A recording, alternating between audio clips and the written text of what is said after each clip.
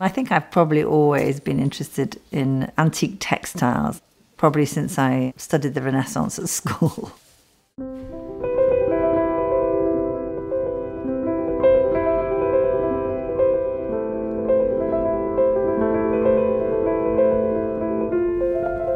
The main interest came from working in the theatre as a scene painter.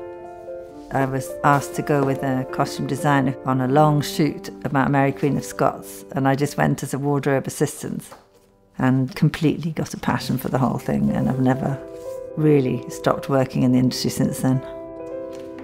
Probably the first exciting project that I worked on was with Danny Boyle, and I did a series called Mr. Wroe's Virgins, and I did the first two series of Downton Abbey the reason that I was so keen to work on that series in the first place was because it was a new script, it wasn't from a classic drama.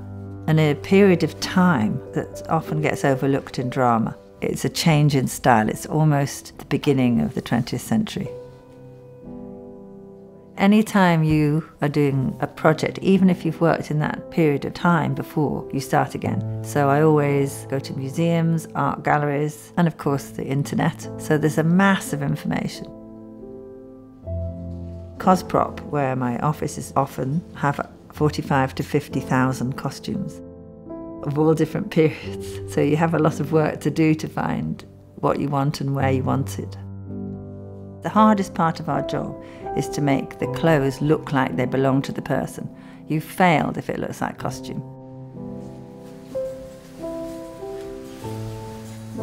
Working with Helena Bonham Carter, who was playing Elizabeth Taylor, I could not put on her the clothes that Elizabeth Taylor wore. They were completely different shapes.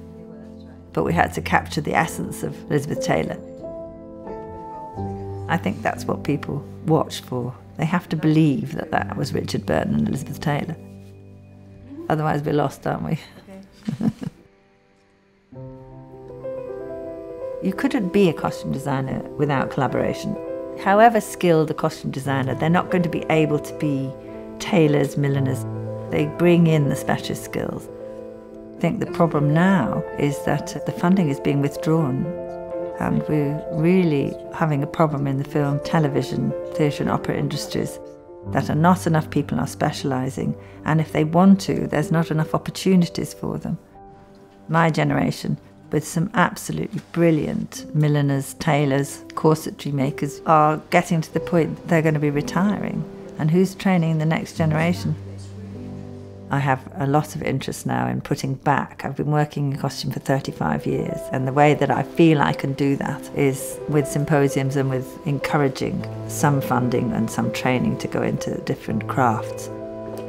The industry has such high production values throughout the world. Our series are the best, really. We need the best technicians. My name is Susannah Buxton. I'm a costume designer and I'm London based.